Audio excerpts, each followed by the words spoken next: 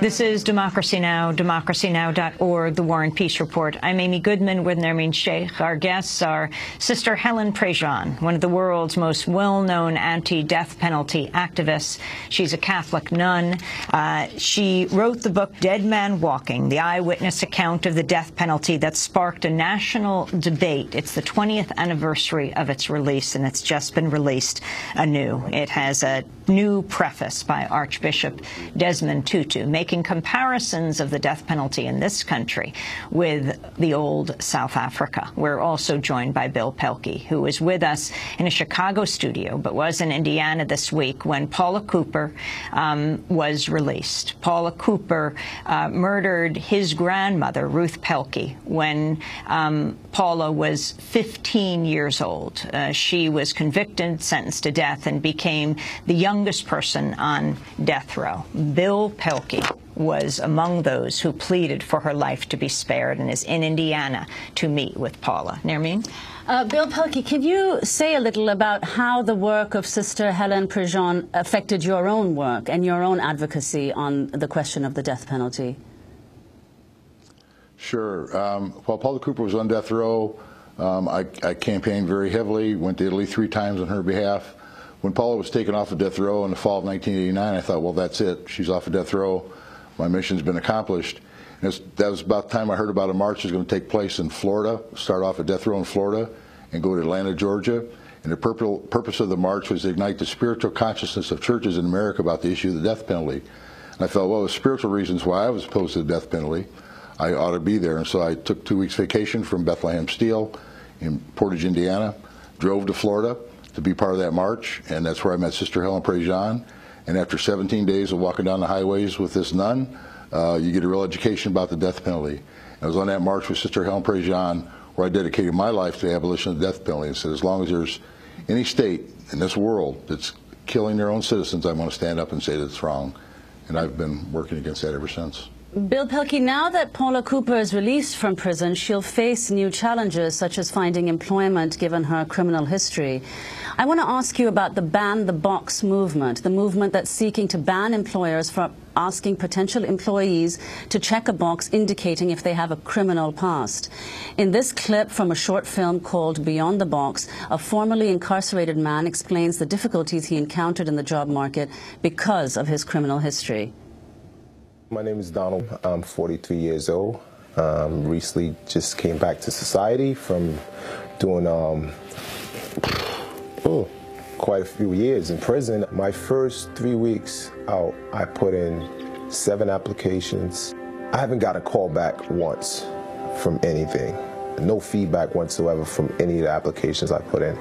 I get up in the morning, um, headed to my destination, which is an advanced employment class. Okay, this is something I've been looking forward to doing. When I say I want to be whole, I want to be a whole person. I want to wake up in the morning knowing I got a place in society.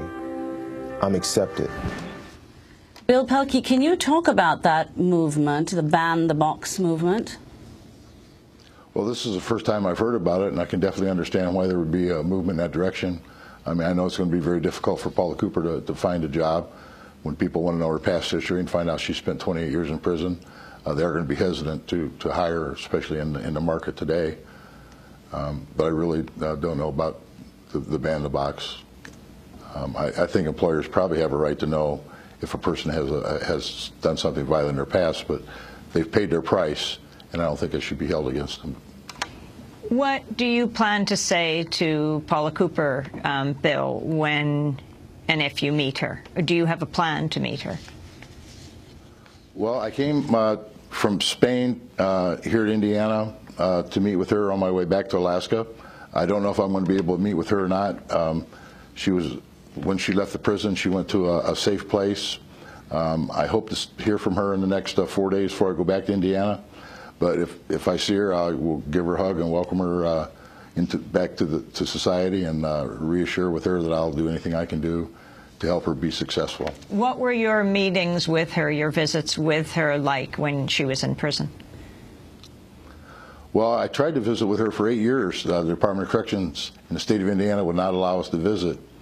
But as a result of a, of a film that Susan Sarandon narrated called From Fury to Forgiveness, where they went into the prison and asked the warden why I couldn't visit with her, uh, the warden acted shocked but said next time I applied to visit I could. And so on Thanksgiving Day of 1994, we had our first visit. Uh, when I went into the prison, I knew you could give the person a hug when you went in. And one of the statements Paula Cooper had made on that video was, I would like to look him in his eyes and know that he has forgiven me. And I gave her a hug. I stepped back. I looked her in the eyes. I told her that I loved her and I had forgiven her. I've never talked to her about the crime. We've talked about other things that we have in common. And you've also spoken to her regularly on the telephone, is that right? Uh, once a week? Um, no, I've never spoken to her on the telephone, but we have corresponded while she was on death row. We wrote letters uh, exchanged about every 10 days. In the prison ah, yes, system in Indiana, something called JPay. It's like an email system, and we do correspond through this JPay system uh, once a week. Helen Prejean, as you listen to Bill's story and you do your own escorting of people on death row, or what, what do you call it uh, when you are with people on death row? Uh, spiritual advice, spiritual accompaniment. Talk about um, the murder victims' families. I mean, we're hearing Bill. He's the grandson of Ruth Pelke.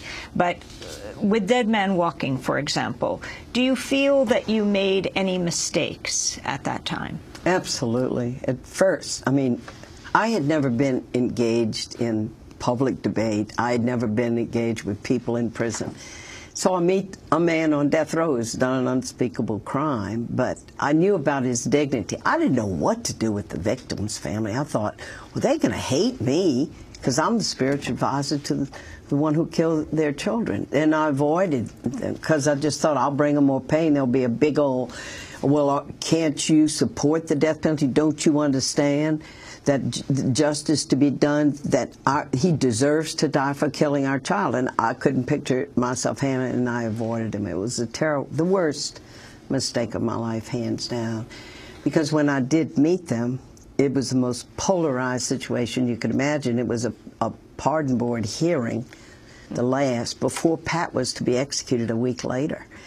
And you, you sign a book when you go in for a clemency board hearing in Louisiana. If you're for life or death, literally, I think it's the closest you come like to being in a Roman amphitheater. You put your thumb up for a person to live and your thumb down for them to die. And everybody in the room, except me and a lawyer and one psychiatrist, was there to see Patrick Sonnier die.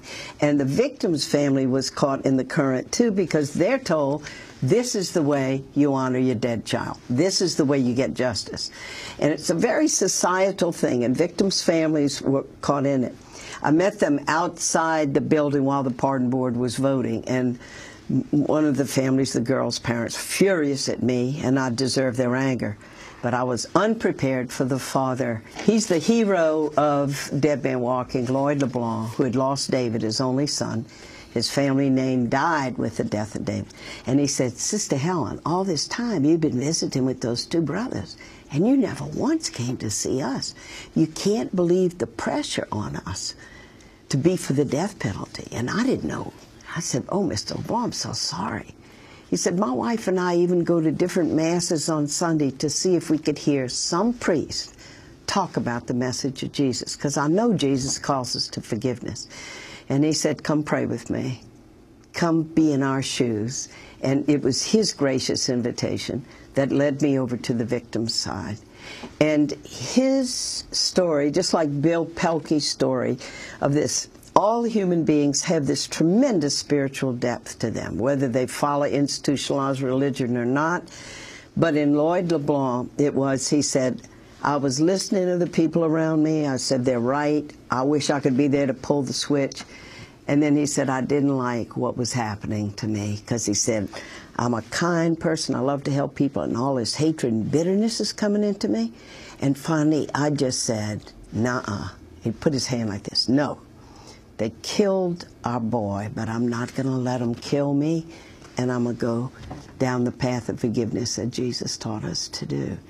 And he was the first victim's family I met. Now I've met hundreds, hundreds of people over these years, victims' families. He was the first one to teach me, though, that what forgiveness is is not first and foremost what you do for the one that who's hurt you to lift their burden. It's a way of saving your own life. It's a way of preserving wholeness, as we can see in Bill Pelke. Because then when, and, and Lloyd LeBlanc said, he said, people think forgiveness is weak, like you're condoning what they did. He said, it kills you to not to forgive. It was killing me. And he said, because who I am is to be a person who loves people and helps people. And so it was a way of preserving your own life. And it gave me an insight. When Jesus said, love your enemies, it doesn't mean condone what enemies do, or it's gotten to be like a cliche, you know, that people say, oh yeah, forgive and forget. But it's not letting the love and integrity of our life be damaged forever by the hate. Sister Helen Prejean and Bill Pelke, we thank you for being with us. Uh, Bill Pelke will follow up on whether or not you meet with Paula Cooper. And Helen Prejean, we're going to do part two of this interview after the broadcast and post it at Democracy Now!